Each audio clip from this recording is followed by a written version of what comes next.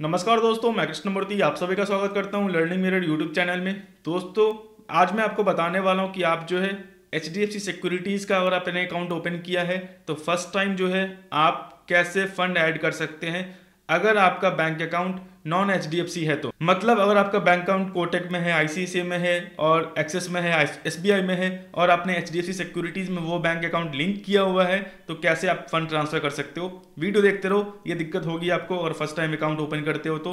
Video देखते रहो video अच्छा लगे, कृपया लाइक करना सब्सक्राइब करना और शेयर करना।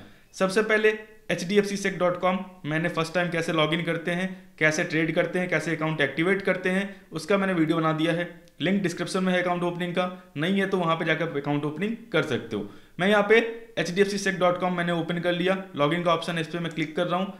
क्लिक करने के बाद आपको ट्रेडिंग आईडी आएगा, उससे लॉगिन नहीं करना। मैंने फॉगेट यूज़र नेम पे बता रखा है यूज़र नेम कैसे फाइंड करना है, वो यूज़र नेम यहाँ पुट कर दो, पासवर्ड जो सेट किया वो पुट कर दो, date of birth D D M M Y Y Y Y format पे पुट कर दो और लॉगिन के ऑप्शन पे आप क्लिक कर दो। ये लॉगिन पे क्लिक करने के बाद ये आपको लॉगिन हो चुका है। मैंने हाल में ही फंड ऐड किया है। अगर आपका H D F C securities और H D F C bank account दोनों लिंक है तो आपको कोई दिक्कत की बात नहीं है। आपको कोई फंड ऐड नहीं करना। वो ऑटोमेटिक आपका जो है गेट बैलेंस आपके डायरेक्टली बैंक अकाउंट से वो ले लेगा। आपको सिर्फ़ कन्फर्म एंड होल्ड करना है। जैसे आप कन्फर्म एंड होल्ड करोगे, आपका directly H C bank account से आपका H D F C trading account link है, वो ऑटोमेटिक फेच कर लेगा आपका कि जो पैसा है। मैं बोल रहा हूँ कि मेरा कोटक महिंद्रा बैंक लिंक है तो ये फेच करने के लिए ऑथराइज नहीं है। समझ गए? तो यहाँ से आप फंड ऐड नहीं कर सकते गेट बैलेंस पे क्लिक करोगे तो यहाँ पे देखो, ये फीचर जो है सिर्फ़ सी नेट बैंकिंग के लिए अवेलेबल है। ज़ाहिर सी बात है सेम सिक्योरिटी सेम बैंक है तो फीचर अवेलेबल होगा। सर फंड कैसे ऐड करना है? ट्रेडिंग बैलेंस यहाँ पे आपको दिख जाएगा। सिंपल है। या तो ट्रेडिंग बैलेंस पे क्लिक कर दो, या लिमिट पे आ जाओ। लिमिट पे आने के बाद फंड लिमिट का ऑप्शन दिख रहा होगा, इस पर आप क्लिक कर देना। जैसे ही क्लिक करोगे, सब कुछ यहाँ पे दिख जाएगा। ये आपका है। फल होल्ड रिलीज़ फंड ट्रांसफ़र यहाँ पे ऑप्शन दिख रहा है, इस पर आपको क्लिक करना है। जैसे आप क्लिक करोगे, यहाँ पे देखो, कोटक महिंद्रा बैंक है, बैंक अकाउंट है आपका। गो के ऑप्शन पे क्लिक करना। सिंपल, यहाँ पे कैंसिल कर रहा हूँ मैं लिमिट के ऑप्शन पे आना है फंड लिमिट पे आना है, या फिर ट्रेडिंग लिमिट पे क्लिक करो, यही ओपन हो जाएगा। फंड होल्ड एंड रिलीज़ का ऑप्शन दिख रहा है, इस पर आपको क्लिक करना है।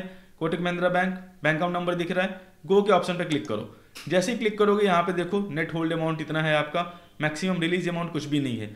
अगर रिलीज़ करना होगा तो रिलीज़ कर सकते हो। रिलीज़ का वीडियो मैं अलग से ले आऊँगा। पहले फंड ऐड कैसे करते हैं, वो देख लो। मैंने मान लो यहाँ पे 500 समथिंग दिख रहा है। मैंने 400 समथिंग रुपीज़ का ईटीएफ बाई किया हुआ है। फ़र्स्ट एड के लिए। आप जैसे फ़र्स्ट एड कैसे करते हैं, मैंने वीडियो बनाया हुआ है। जाके आप देख लो वहाँ पे।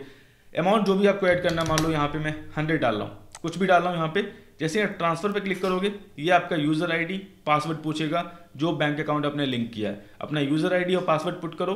लॉगिन कर लो। जैसे ही लॉगिन करोगे, एक ओटीपी आएगा आपके रजिस्टर्ड मोबाइल नंबर पे। ओटीपी पुट करना वेरीफाई ऑप्शन पे क्लिक करना। पुट करने का वेरीफाई के ऑप्शन पे ओटीपी पुट करने के बाद वेरीफाई के ऑप्शन पे क्लिक कर दो आप। जैसे ही क्लिक करोगे, ये आपको देखो, आपको आ चुका है बैलेंस कितना अवेलेबल है, आपका बैंक अकाउंट क्या है आपका। रिमार्क में जो भी लिखना होगा, वो डिपेंड करता है कि आपका क्या बोलते हैं। बैंक अकाउंट में रिमार्क पूछता नहीं पूछता। रिमार्क में कुछ लिख सकते हो। कन्फर्म का ऑप्शन आ रहा है यहाँ पे, इस पर क्लिक करना। जैसे ही क्लिक करोगे, आपका ट्रांजेक्शन सक्सेसफुल हो चुका है। ये आपका जो है ऑलमोस्ट वेट कर लेना। पेमेंट करने के बाद फिर से आप यहाँ पे चले और यहाँ पे देखो ट्रेडिंग लिमिट 508 था। ट्रेडिंग लिमिट जो है 608 हो गया है। यहाँ पे आप क्लिक करोगे, सीधा ये ओपन हो जाएगा। फिर लिमिट पे क्लिक करके फंड बैलेंस पे क्लिक करना। फंड लिमिट पे क्लिक करना। यहाँ पे को ये दिख जाएगा। तो ये मैंने फंड यूटिलाइज किया हुआ ई बाई करने के लिए। सिंपल है। यहाँ पे आपका अवेलेबल लिमिट दिख रहा होगा। इससे आप ट्रेड कर सकते हो। तो बिल्कुल कॉन्सेप्ट क्लियर हो गया आपको।